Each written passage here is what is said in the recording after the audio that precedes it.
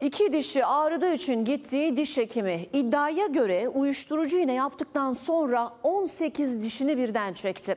Yemek yiyemeyen hatta doğru düzgün konuşamayan kadın hayatım karardı dedi ve o hekimden şikayetçi oldu. İki buçuk aydır pipetle hayatımı sürdürüyorum.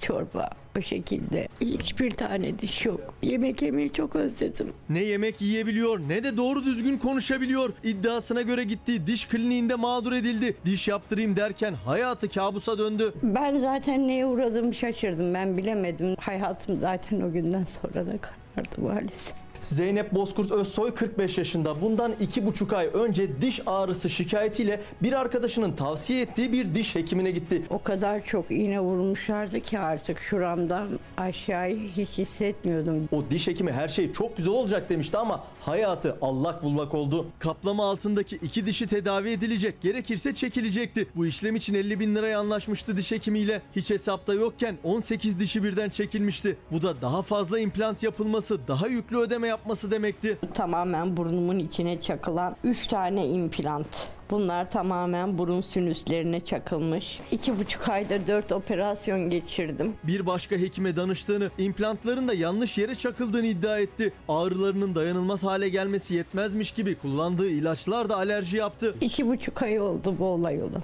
Çok ağrılar çektim. Acillerden hiç çıkamadım. İş hayatım, evlilik hayatım hepsi alt üst olmuş durumda. Dişlerini kaybeden genç kadın yemek de yiyemediği için bu süreçte 8 kilo verdi. Hayatını kararttığını iddia ettiği diş hekimine dava açarken adı geçen hekim iddiaları reddetti. Düzelme ihtimali var. Çok uzun bir süre o da belki tedavim için bana yardım etmelerini istiyorum.